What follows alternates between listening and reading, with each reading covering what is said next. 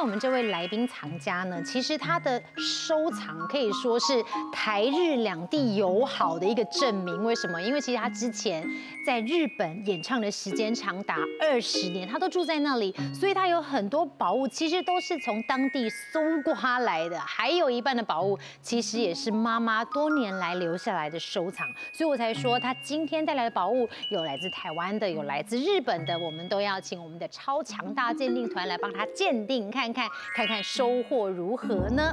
那就先来介绍我们的台湾宝石协会荣誉理事长、逢甲大学助理教授李龙经理老师。嗨，大家好。珠宝设计艺术总监廖良廖老师。大家好。亚瑟宝石鉴定所资深鉴定师赖俊明赖老师。大家好。来，让我们欢迎我们今天的来宾王小楼。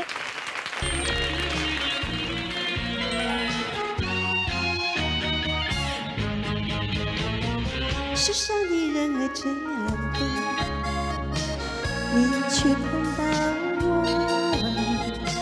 过去我没见过你，你也没见过我，这样的机会不太多，只能算巧合。就像相遇在一起，相聚是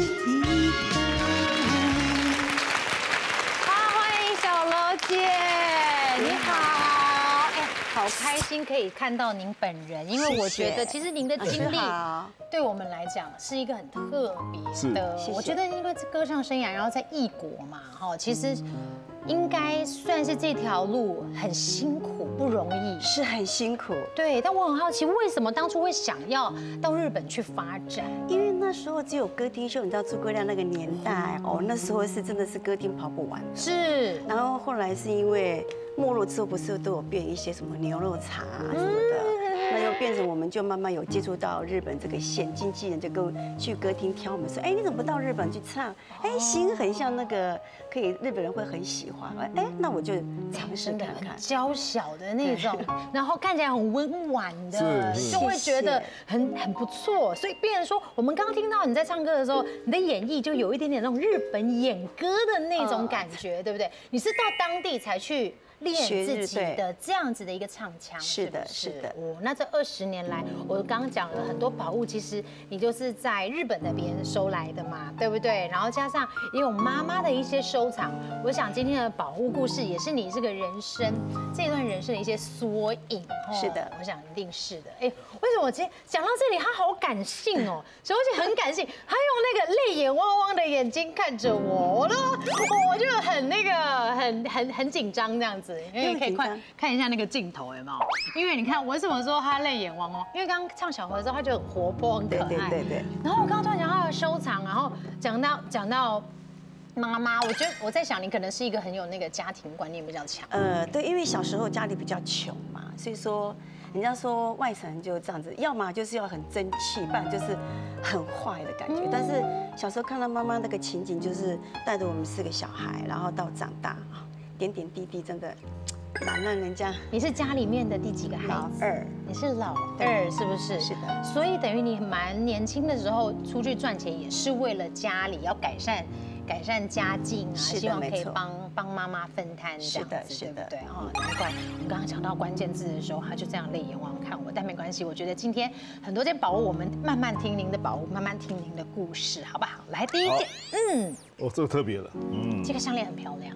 而且它很透、很亮，对不对？对。那当然，它有一些它天然的颜色，嗯，带了一些些，有一些些咖啡色在里头哦。嗯，戴很久了，是还是很漂亮，还是很美。而且它把它用这个珠串串起来，所以证明戴很久了，漂亮。妈妈戴很久，哦，妈妈戴很久，送给妈妈的，是是是。是谁送给妈妈的？我送的。你买的？你看，生女儿就是这样。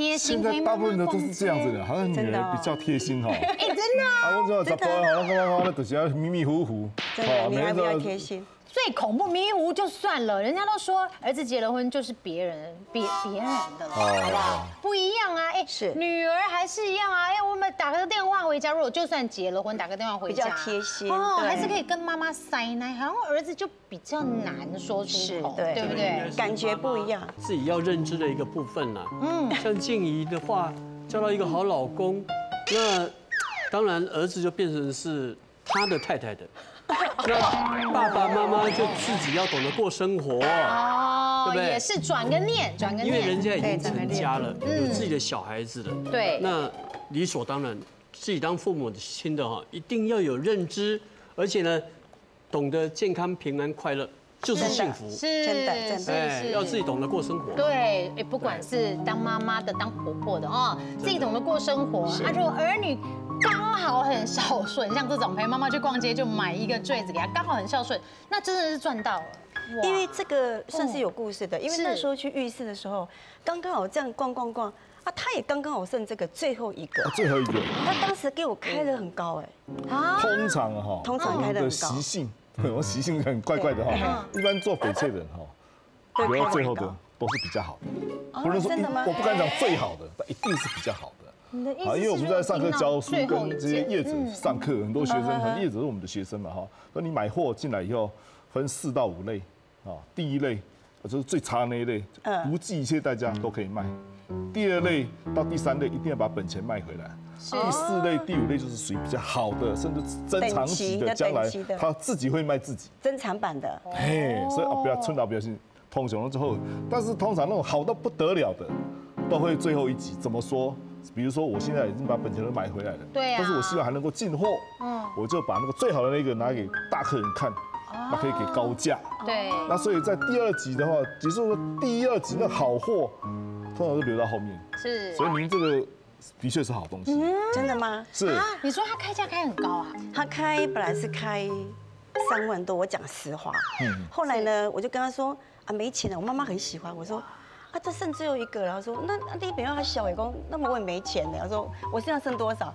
三千高，三千块。哎，你是很多哎他说你是哎，杀猪价吗？我说不是，我真的没有钱。然后看我妈妈也写，我本来真的当下我想要付那个钱。对，那后来我觉得，嗯，不付。然后我要走说，哎，回来回来回来，快点给钱呐，好你三千块啦。这个给真的呀，真的那条还在吗？啊，我不晓得呀。在台北的浴室是不是？哎，怎么那么好？这它开价跟成交价也差太多了，这差太多一定是看到美女。也啊一定是的，我看我觉得一定是的，因为 李老板他自己对对他自己是老板，他清楚，对对不对？看到美女就有美女成交价，不一样。这一块真的美女成交价，廖老师，人家在说你的啦。这个就是怎样，你知道吧？存货还太多啦，哦哎，你觉得能卖就是多赚的啦。是，哎，因为像这种比较低价格的物件哦，就像李老师的那种分货三部曲，哎，前面的先卖，是。卖到后面的都是好货，对不对？嗯，那盖房子的呢，盖房子的是这样，这一块土地哈，路边的一定最后盖，嗯。嗯嗯嗯路边店面呢想不会去，啊想后边还先去了，是先背了，先把它卖掉再说，对，不这样的话它才会有一个聚落。哎哦，会不会是这样呢？这块到底三千元是真是假，对不对？很重要，那么老漂亮，来，请见价。十万元，两千块买到的耶！所以说那看看在不在。对，现在这个东西哈，价没有你你仔细看哇，好痛啊。泛光的玻璃，是啊那这个我们叫冰波种。冰波耶，哇，这个还不到玻璃种，因为它有一是。根毛边，好，是那冰波种。我带了一颗哈，就是属于那种玻璃种。哦，你看这样哈，透度它稍微再透一点点，有时候透一点点哈这样是玻璃种。是。好，那当然它放在报纸上面可以很清楚的看到字、颜色，那这个就隐隐约约。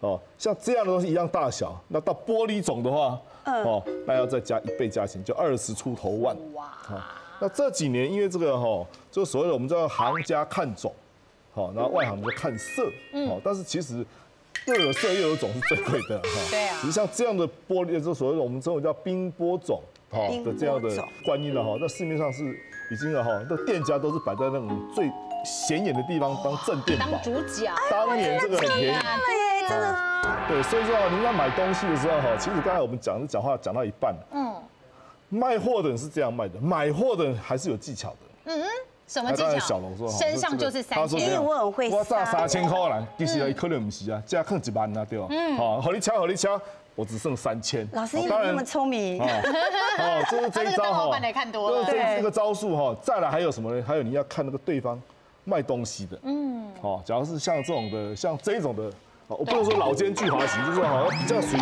社会历练够的，你很难很难在他身上讨到便宜。啊，年轻人刚出来摆摊的，他比较没有本钱，是。好，阿一德哈，想要今年被他赶快登很被紧呐哈，通常你这样比较容易找到这所谓的要找到便宜货，比较有机会。哇，太 lucky 了。结论是这样子了哈，好的东西自己会卖自己，对了，就像你所以，您要收藏买好东西，嗯，才是正确的路。哇，这个真的很 lucky 耶。不错，真的很好。好开心。对呀妈妈如果在，她一定很开心的呢。哦，所以妈妈现在不在，是不是？她是嗯，她怎么了？是高龄过世还是几岁？嗯，还是怎么？妈妈妈妈生病吗？妈妈是。妈妈喜欢玉，她比较是喜欢透一点的因为。我说，妈妈，我今天好你挂挂你平安水懂呀。但我不想让后面妈妈发这事情，因为她跟在我身边，觉得百为孝为先，一定要孝顺，没有孝顺，你今天的成就都是妈妈爸爸给你的。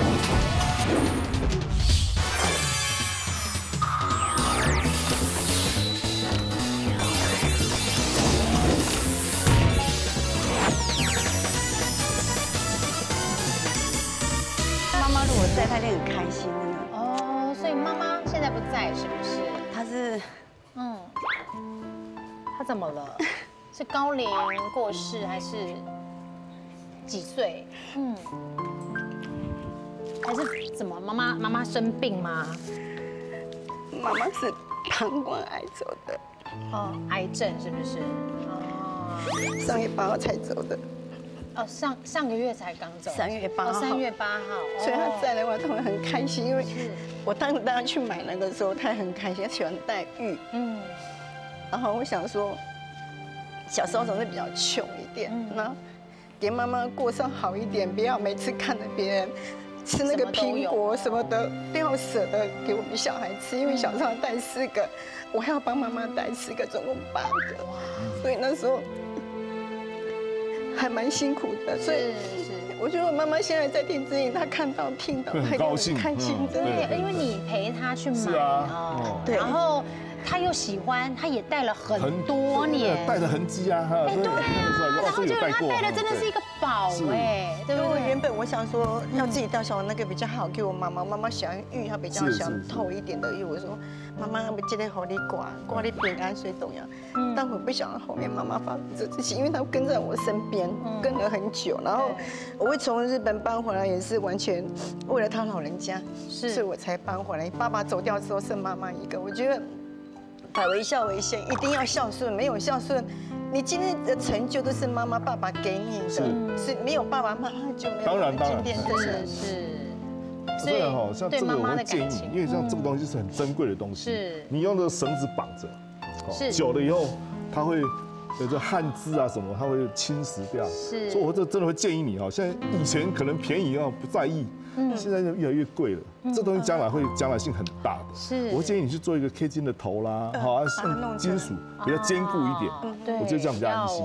对对，啊，我这个我点了垮掉，然后掉到地上，啊断了，啊缺角，好可惜哦。因为妈妈戴那么久，现在可能就是留给你了嘛，对不对？应所以把该带有妈妈戴应该带有快二十。年有了，哦，你你看，看，这秀的你看，弄可是摆 真的好好哦，因为稍微断的话，他就会去把它就是是稍微这样换一下的哈。所以绳子要小心，对不对？很小心是哦，，弄个 K 金，啊那我知道了。对啊，所以你看看，哎，有孝顺的孩子真的很好，因为你看这个礼物也是哦，也是当初买给妈妈的，对不对？你看，生女儿就是可以多生几个，真的很不错。你四个孩子里面是几个是你们姐妹？是我一几个大姐，然后我是老二，对那个弟弟也是在二十年前就走掉车祸哦，，剩一个那。这个小弟是在青岛的，也是做古董的。是也做古董的哦所以这个就是跟小弟一起对，小弟的买送给妈妈的。嗯，这个是，呃，以前本来买一个翡翠送妈妈，那因为对她不小心放在就是衣服里面，把那个放在洗衣机搅坏了。我们买那个八九万块，你知道吗？哎呦对，你看设计架的叽叽口口都听到啊，对吧？结果。没付啊，哦。然后后来呢，那个，这是因为他们基隆那个老板，他正在那旗下工作，然后他说，哎，我妈妈嘿，哎呀，你要后点，我上来记得，他说是冰什么玻璃玉，这个如果收藏好的话，不会输那个翡翠，他这么跟我说。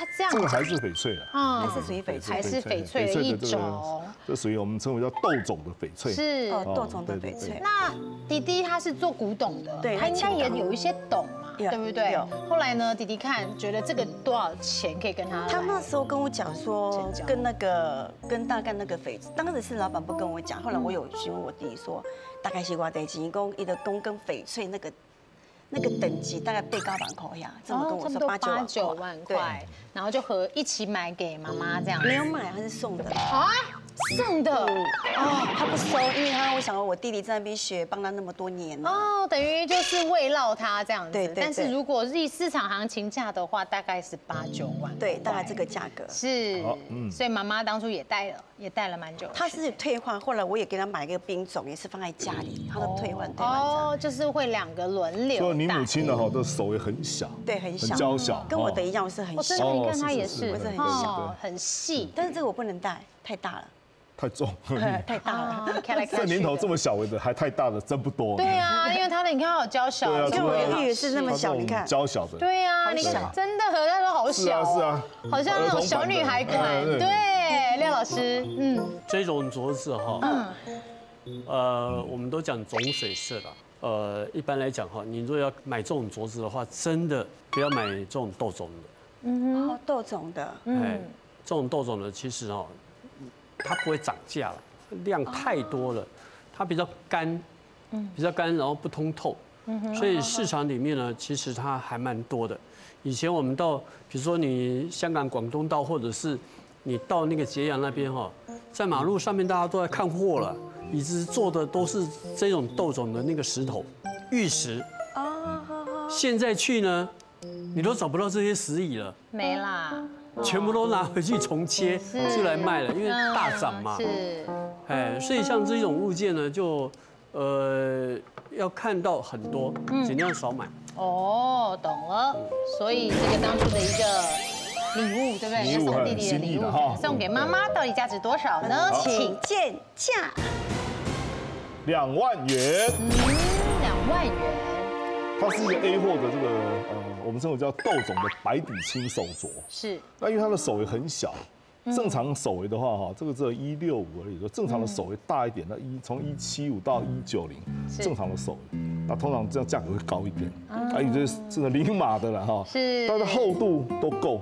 那这个很好的很好听的名称，嗯它叫白底青，就是白底的没，错还有绿色青，然后叫对撒金，所以它是好这个铁质，我们称为叫铁染效应，这学术上铁染效应，铁质沉淀。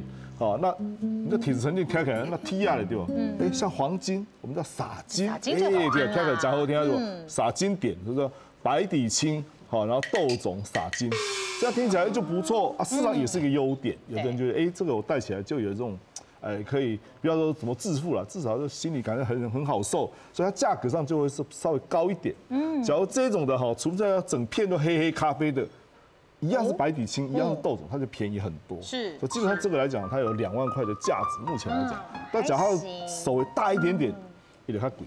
可能要四啊，目前大约是两万块钱。好啊，它也没有什么裂哦，只是说它的，像廖老师讲，它种水色，然后它就干了一点，干了一点豆种。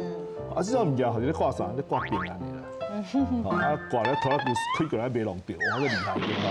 啊，对对，圆圆满满。是就戴这个哈，还有带什么？戴在手上，万一跌倒的时候会挡一下，嗯碎掉了没关系，手没断。心不会痛。哎，对，我就对我就断过两个玉。是嘛？对不对？你要是是戴一个两百万的手镯，对呀。跌倒手要举高哎，要不然你我这冷大板对吧？都别开玩笑对吧哈？啊，所以但是我觉得这个我觉得黛玉它有个灵性，嗯对，当你家里有什么事情发生，像两个都一样，一个爸爸妈妈我都这样，爸爸要走的时候也是我破一个，妈妈要走是破一个，啊，真的。所以那个时候在破的破第二只的时候，你心里面就开始，哎呦，是心里有一个毛毛的，毛毛的预感所以黛玉来讲，对我们就是保平安呐。是一个人的对，因为这种玉啊哈，在我们中国文化来讲，它是一个玉文化的堆垒啊。对，没错。哦。，然后他就我觉得说，他黛玉，就每个人都觉得说，哦，不管是白玉啦、翡翠啊，都是对这种吉祥的象征的，嗯，大家都是习惯这样子。哦，所以你看也不错，可以把它好好留着。好，看到他就想到妈妈，对不对？你们两个孩子的心意，对不对？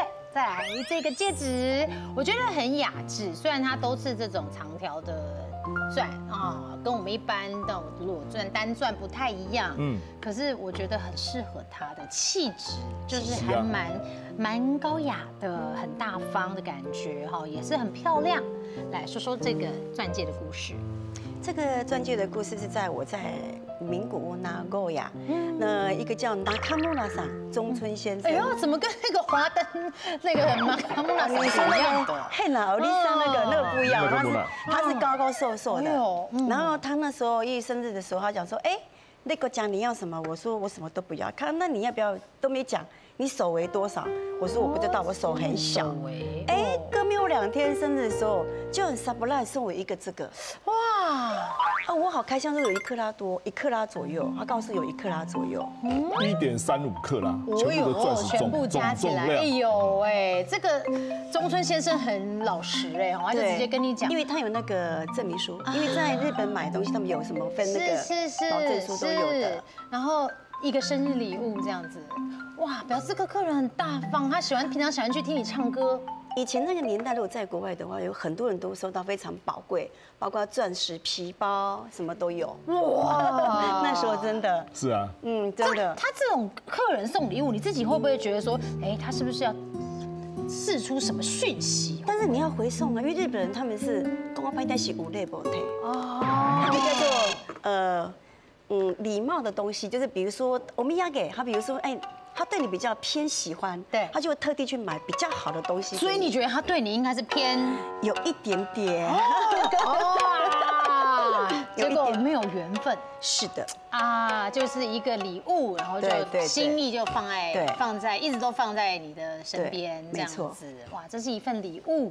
那我们来帮你看一份礼物哦，这个中村先生送的礼物，虽然没有缘分啦，对不对？哈，但是还是一个心意。来，请见价。我一进去看了两个，我超喜欢的，怎么定价这么贵？我一看我就转头就走，哦，兄弟也不爱买。我走过去说，啊来啦来啦来啦，放了好几年都没有人买，然后挑人带，要跟你结缘，那你要买两个，反正我就随便喊，你要卖我没关系，不卖我没有关系这。种我最怕。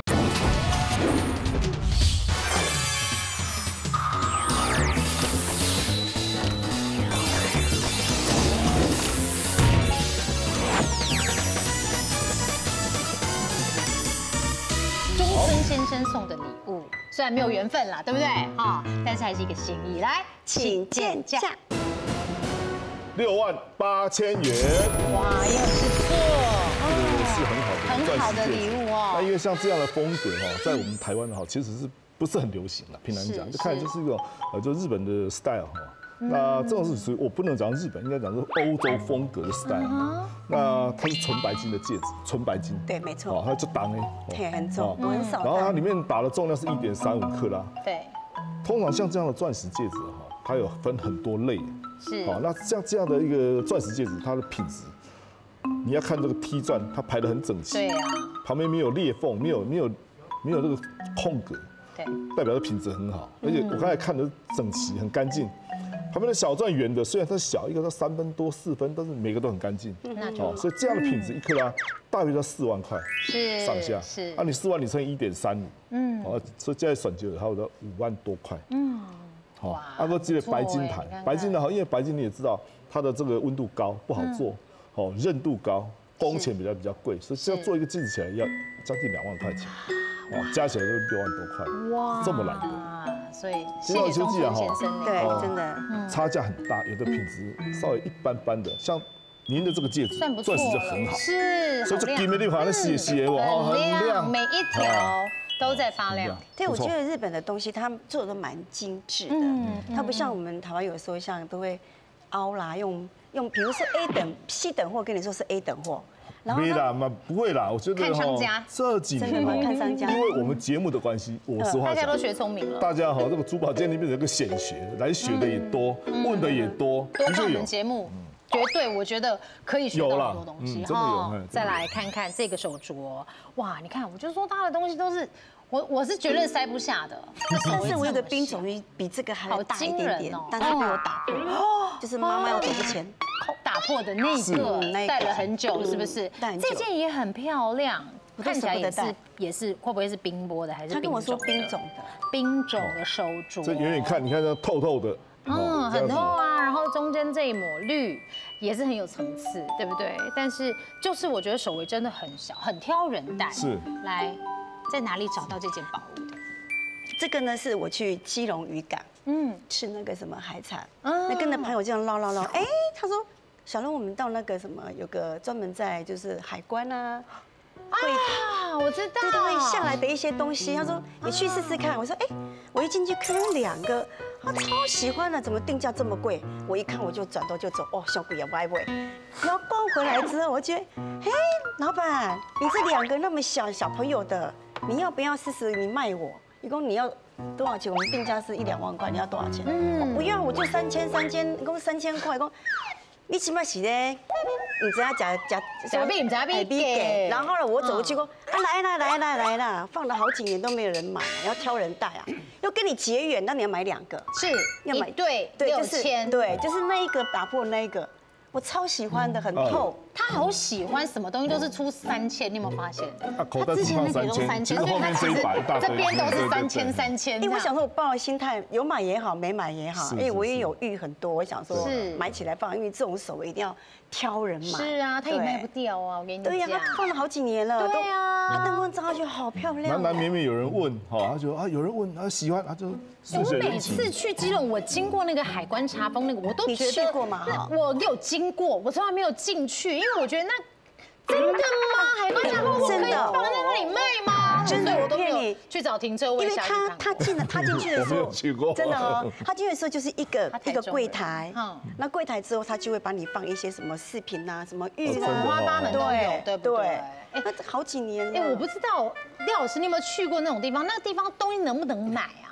我都是经过了，嗯，但是呢，每次都看到很多人在买。很多的，真的可以寻到宝哦，真的可以现在大家宝。礼拜六、礼拜天都是要逛街，那干脆就逛那个海关查查验的这些货对对啊。对，就那个地方，对，没对啊那边都会买到便宜货。真的。哦，哎，所以很难看事实上珠宝玉石哈，在那边买我还是哎有点风险风险，有点风险啊。嗯，那刚好是看到你这一个镯子，我来看一块玉石。是。最近哦有一块玉石哦，明货，就是说已经切开了玉石，它开价二十万人民币，没有人要，然后砍砍砍砍到十四万人民币，对。也没有人要，啊，老板就自己切了。是。这个老板就自己切了哦，他要卖卖不掉嘛，十四万都不要了。那像这个的话，老板卖不掉，他顶多自己带而已了。但是没有，这个人呢，你看哦，它一切开切了很像呢你看三片，哦，很像啊，很像，超像的，真的很像哎哦，对不对？嗯好那它因为它上面有裂纹，它有大的石纹，嗯，所以就没有人敢要啊。是。结果它切开第一片的时候，切开第一片的时候，哎，里面的石纹就越来越少了。哎呦，越来越少。结果呢，它全部磨了几个镯子，你知道吗？二十二条，镯子算条的，二十二个，就二十二条，嗯。大钻。哇，大钻呐！好开心，所以这个玉种的话，你看看，对，很奇妙吧？嗯。明货没有人要，对呀，都已经明明就是因为明货才没人要，因为差太多了，黑黑啊的不好看。是。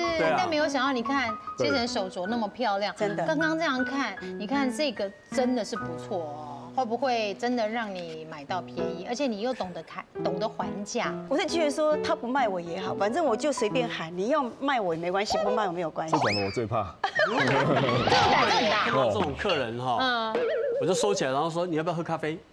嗯，就这样而已嘛，大卖家交个我们卖朋友啊。假的啊，对不对？好像都乱喊是，常常就会有这种状况啊。因为你如果真的两个卖我六千块，我还会担心回家买，我就想说完了，这么便宜一定有问题。而且他还跟我讲说，你买两个，我送你六千，好不好？对呀，我说，哎，阿丽陶哥你很会做生意耶。出这样出成我说我三千我要一个，你为什么买两个？啊，我我摆这里都好久好久没有人买另外一个。更漂亮，所以他说带你是啊对就不小心破掉了。所以到底这是缘分还是孽缘？嗯我们来看看好不好？请见价，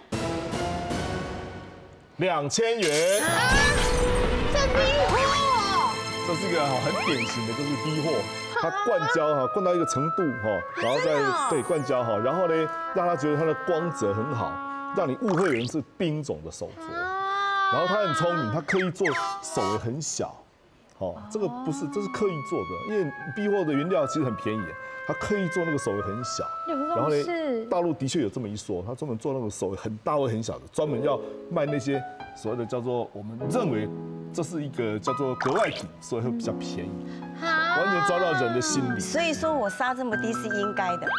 啊！对对对对对，把对来，结果他中我两千块，多了他中我两千块，对不对？其实你，其实你现在不是说杀这么低啦，其实以现实的状况来讲的话，真的是瞎猫碰到死耗子。是他也没有打算要买了，其实对我真的没有打对算要买。因为像这种物件呢，就像李老师讲的，那个切磨商，我们刚刚讲到这个切磨商，啊，他能够掏出二十二条手镯，像这种物件哈，他就真的要把它缩小或放大，是。不是极小就是极大，为什么呢？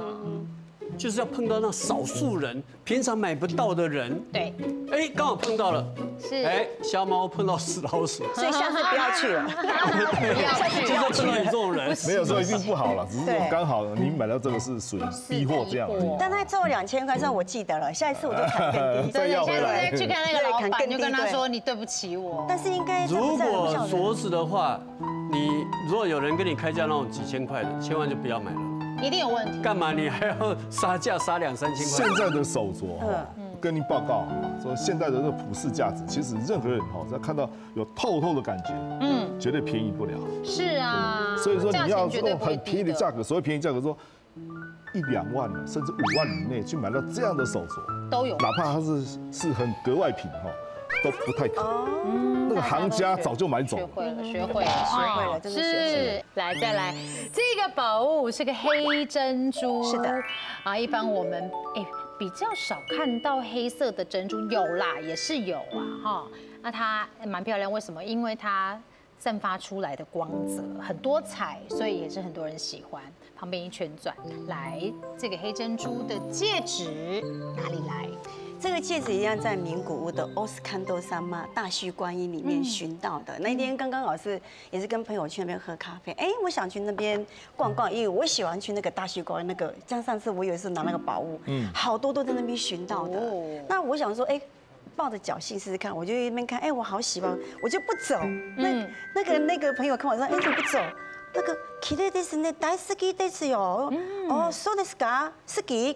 大好きです。然后我要走，就等待。然后问那个那个客人说，跟那个店家说，呃，いくらですか？これディスカウントはどう？这个多少钱哎，多少对，钱你如果 discount 打折多少钱便宜哦？他这样好了，他定好像定六十几万。嗯，这样子好了，三十万成交可以吗？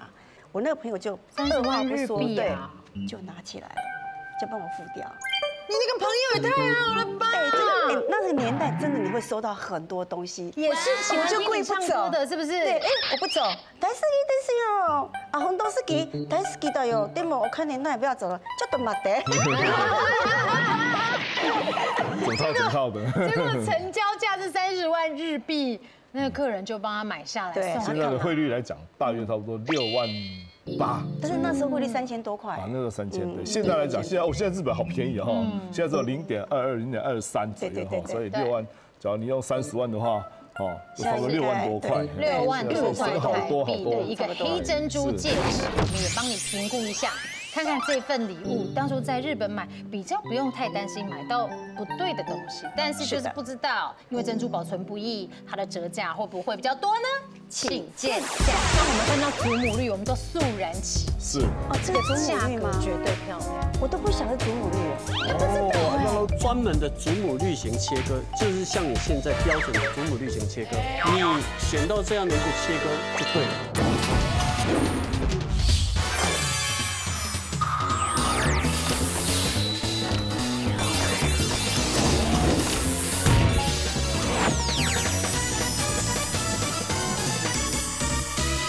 保存不易，它的折价会不会比较多呢？请见价。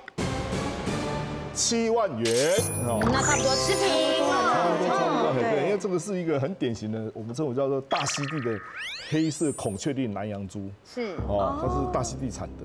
然后这个珍珠哈，它有一个特色，这颗珍珠哦，它没有表面没有瑕疵，而且您照过这个 camera 照看看，你们它那个光泽很明显，对啊因为光点就好喜这里欢它的光泽。表面很好，就是光泽很平整，这是是很好的珍珠。那这是一个纯白金的戒指，对。呃很典型的哈，只全世界哈只有这个国家会这样子，这是珍珠用爪子镶的，很大部分的珍珠都是用钻一个洞把它粘上去，对。嘎啦几蹦。哦那为什么？因为这颗珍珠没有瑕疵，它才用爪子镶。哦，哦，它很珍贵，将来你可能会改坠子啦，改什么，它要预防留一个后部给你。嗯，然后上面的镶钻有四十三分了哈，啊，这是纯白金的戒指，这是很典型的日本风的这个戒是指。是，对。我碰过大概 在相公的技巧上面跟技术上面最高的，可能就是碰到完美的珍珠的时候，那要怎么镶呢？就是真的只有用爪子去镶。嗯，比如说全爪的镶一半以上，对它必须要整个去把它抓住，是这个珍珠才能够抓得住。对可，是你想想看，这些金属都是都是硬的、锐利的，嗯，锐利的，你的珍珠如何塞进去？对，哦，这个是技术啊。哎，那个真的是技术，真的而且你必须要让它很贴合，嗯，很贴合就不会勾。对，所以珍珠的一个这种五爪的镶法是最难的。那通常珍珠会有一个洞，嗯，有一个孔。那有一个孔的话，如果说它下面这边是一个爪子的孔的话，是有可能下面会有瑕疵，它才会钻一个孔。对，钻了一个孔，那我们可以这样的相相攻的方式。是那如果说有的客人说，哎，我整个珍珠都是完美的，嗯，我这个孔呢，我要怎么表现？然后我要让我的戒指不会那个钻那个珍珠不会掉，对，那就像这个样子，是。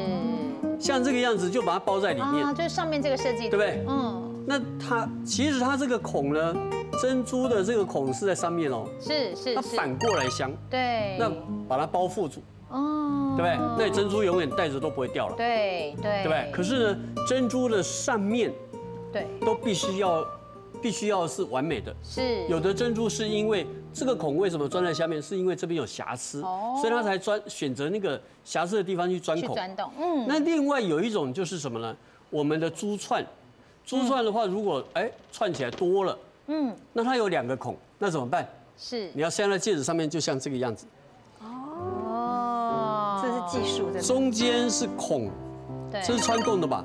那就是变成是用线条去抓两边，对，哎，这是一种相公的技巧。嗯，哦，你看看，所以说刚刚的那个珠子，它这样抓抓的，已经算抓的还挺稳的，抓的很很坚固，很稳。对啊，这都有很多学问在里头。所以日本这个技术真的是很棒，对他们就比较精细，然后直人呐。比较对对对，比较精细。好，再来廖老师这边的技术现在比他们好。来，再来看看这一件蓝宝戒指，也是很漂亮哦。它的颜色是属于比较淡一点的蓝色，是哈。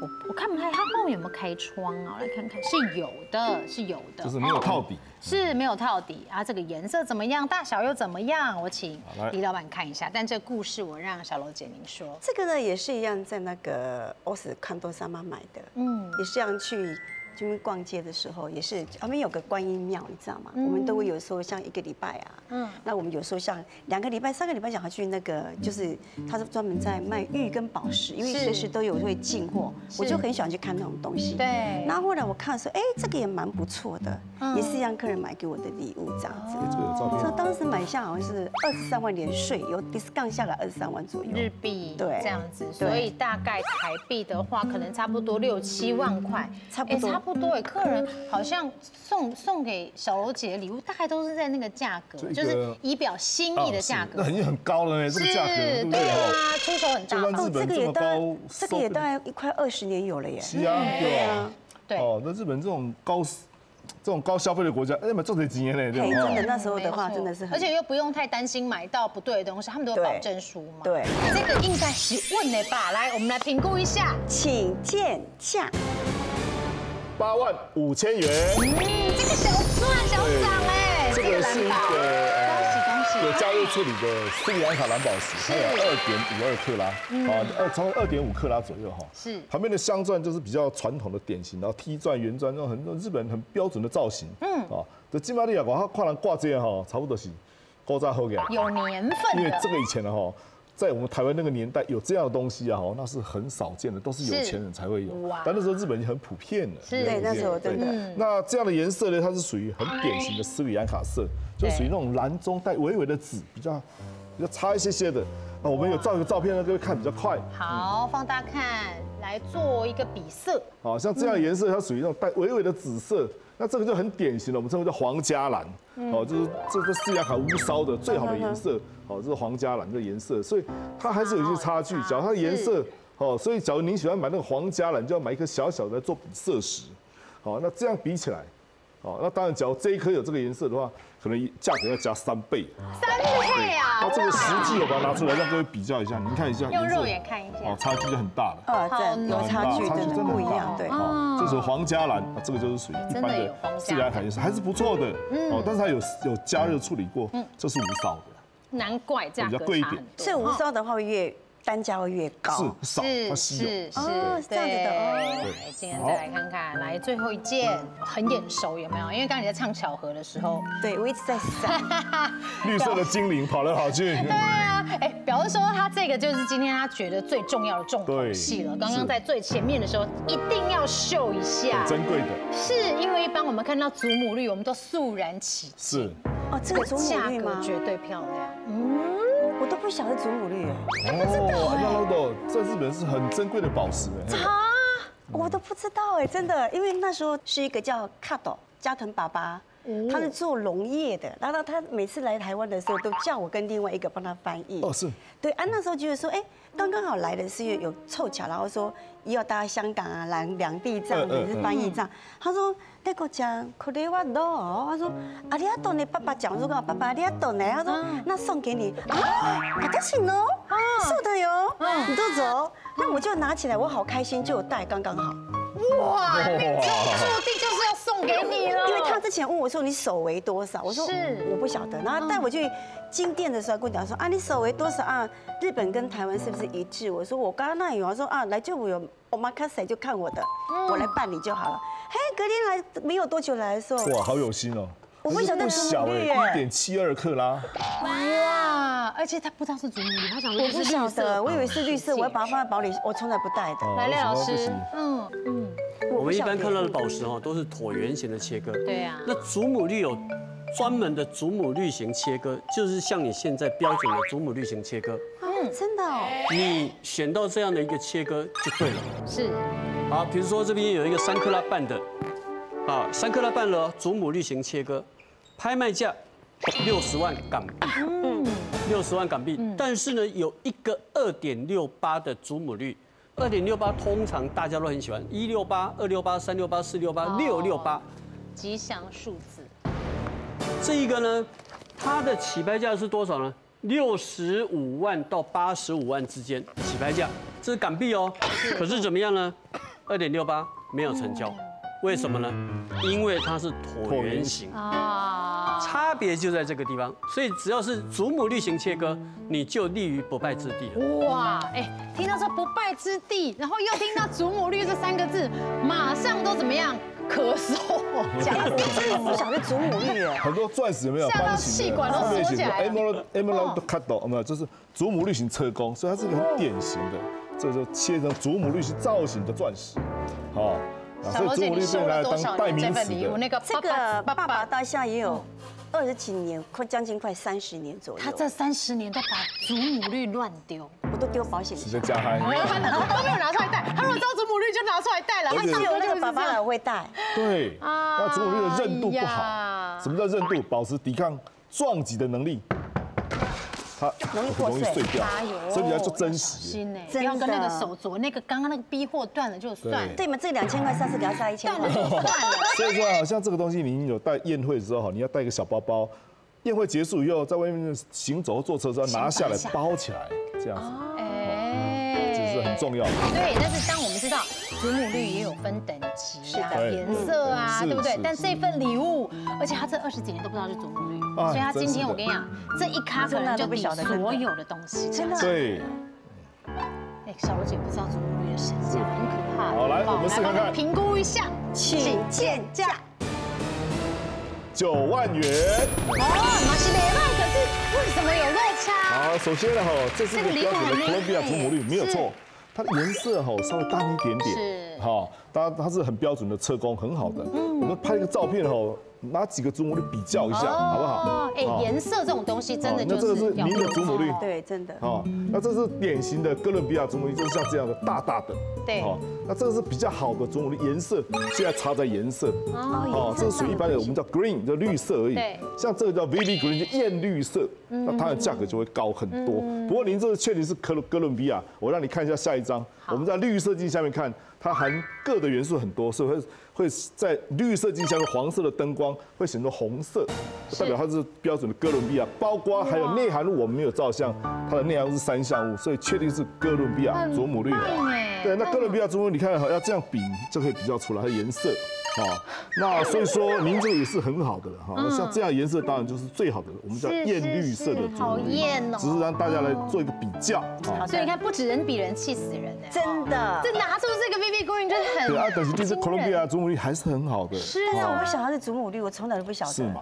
而且是爸爸送的礼。物，哎呀，不容易。这这到时候爸爸真的要跟我讲说可能我他概的时候，我说哦，阿里亚懂的，我也没问他说多少钱？多少钱。他如果当下知道是祖母绿，他的阿里嘎多会乘以十倍，是这么大声的，吓到哎，真的是一个很棒的礼物。所以我觉得，我觉得也是因为你的努力，哦对然后让身边的人都感染到这一份正能量，大家都人有傻喜欢你。就不会不会，不是傻人有傻福，他是真的呃备受肯定的人哈，是，成就所以很非凡。其实很多善缘，今天带来有很多谢谢。对妈妈的思念也好是，还有对于这些好朋友的感恩，对不对？今天很棒、很精彩的故事，谢谢小罗姐，恭喜你，谢谢，谢谢。谢谢我们感谢谢谢谢谢感谢谢谢。谢谢。